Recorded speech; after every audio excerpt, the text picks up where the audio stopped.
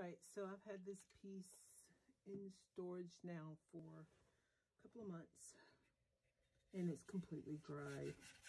So I'll show you how to dry. I meant to trim a dry piece. I'm gonna wet the edges just a little bit. And first get in this room I caught from clay dust, I'm sure.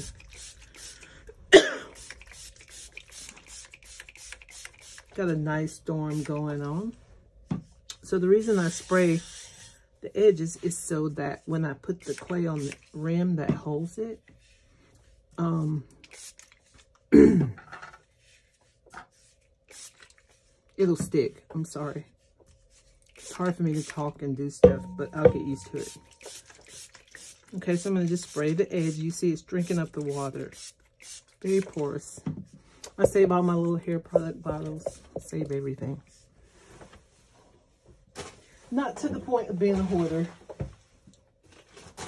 But if it can be used in here, you better believe I'm going to keep it.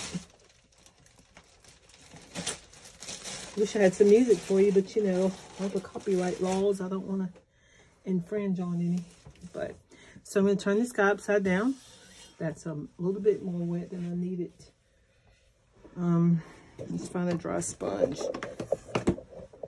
I love this guy. I bought some new sponges today.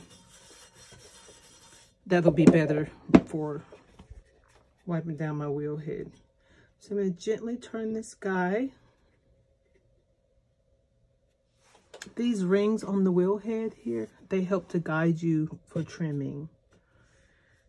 And I thought that was very friendly. So I'm going to spray it just a little bit more turn my wheel on here.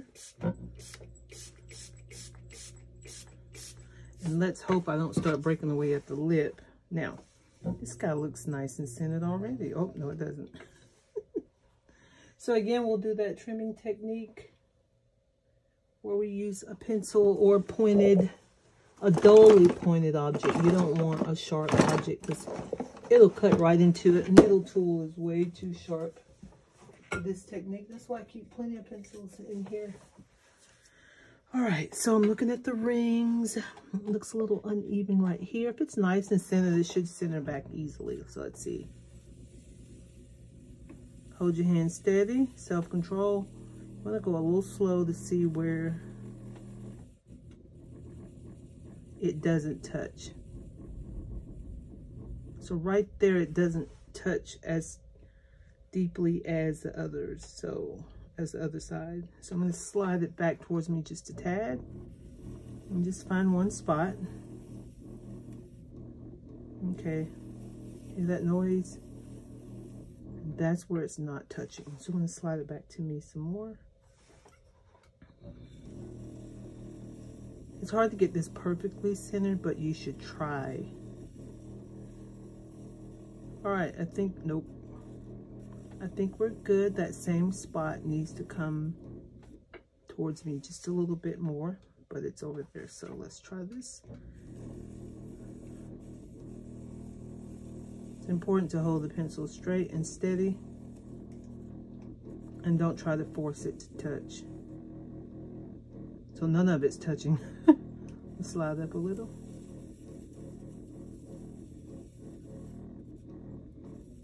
Didn't touch here.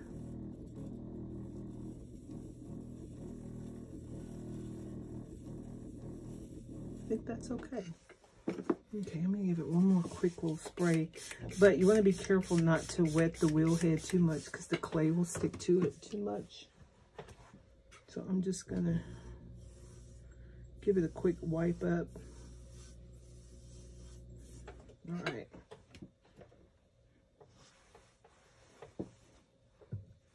Going to make my little coils to go here on the edges to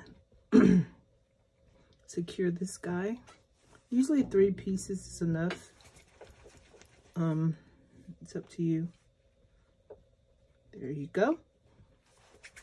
We got a nice storm, perfect day for throwing on the wheel because it brings a little sunshine in in my life anyway. I don't know about yours. So I'm going to get a kind of sharp tool because this is a, um, dry piece, okay? Sorry, when I talk and do this, I get very distracted. You'll hear me say that a lot. I think I'm going to try a sharp, even sharper tool um, because I don't want to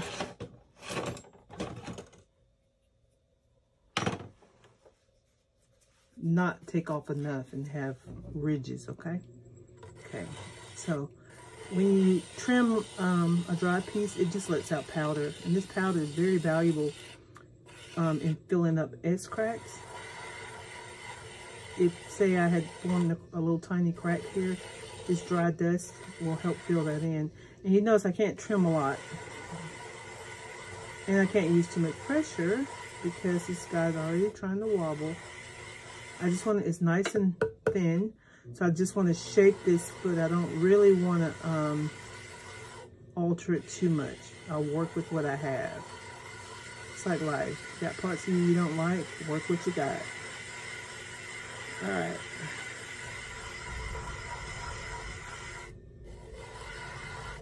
I like a piece with a nice heavy bottom because um, I always try to give something with a little grip.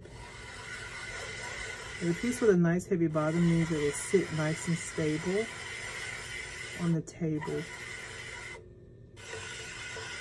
Not too heavy, just a little bit heavier than everything else. All right. I feel debris in there. I'm using recycled clay that's been in storage for a while. I just kept it on water until all the water absorbed and I was just left with some nice ready to throw clay ready to use. Wasn't had to uh, wedge it. So I'm going to go here. Just take a little bit off the bottom, not a lot. Just enough to flatten this edge. And really you want to have on a mask with this dust. Um, especially if you have allergies or lung problems because it can make you coffee, make you coffee. make you cough a little bit for a couple of days if you don't. All right, let's have a look.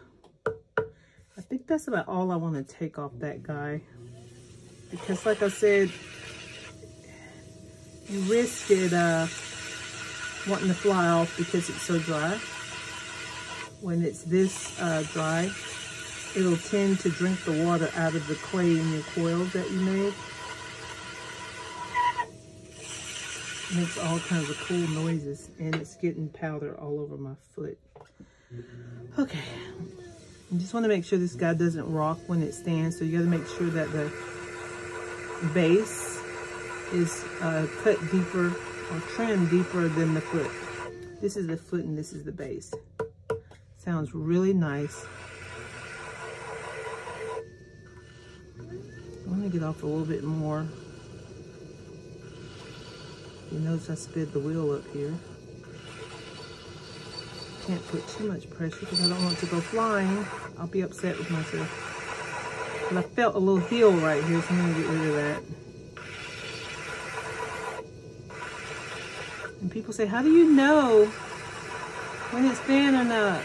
Thin enough. I'm like, you're when you're a potter, you just can feel it. And you can hear that nice hollow sound little high-pitched sound that we um, have grown to know as potters.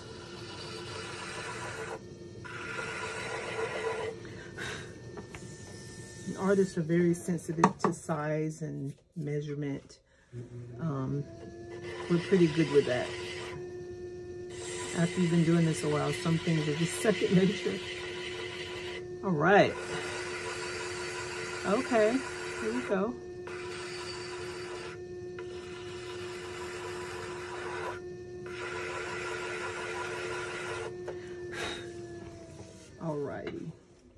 Now, I probably can't carve into that and put my name on it. Um, so what I'll usually do is just get some, when I'm completely done, I'll get some black underglaze and sign it like that. Okay, so you see all that white powder? Okay, I'm going to just wipe this guy down so I can have a look at it. Get some of this clay dust off here. And I'll wet it a little And when it's this dry, you know you can't attach a handle, okay? So when I'm done with this, I'm gonna go into time lapse and I'll uh, paint it. I went to Hobby Lobby today. I love going out there looking at all the pottery that they have. And I know it's manufactured by machines and technology, but they sure do have some pretty designs.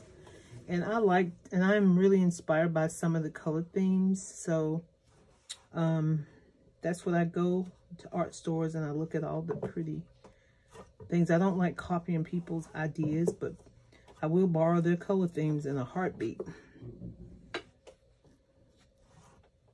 I saw some strawberry theme work. I didn't like, you know, not that I don't like, but I, I don't want to do strawberries. Not my thing, but I sure did love that rich red. So today I've had red on my mind. I even bought a red apron. Usually I have blue on my mind. Artists go through color phases. Picasso went through his blue phase. All right. So these guys are hard to pick up the bowls sometimes.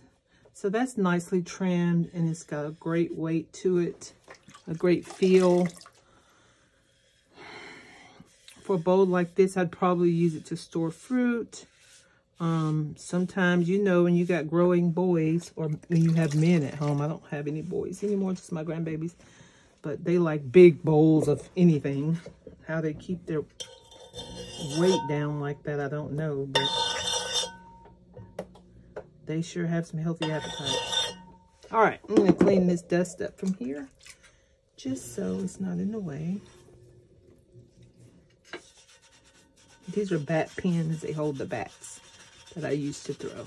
All right, so I'm going to turn this video off now and go into hyper, into time lapse and put some color on this bowl.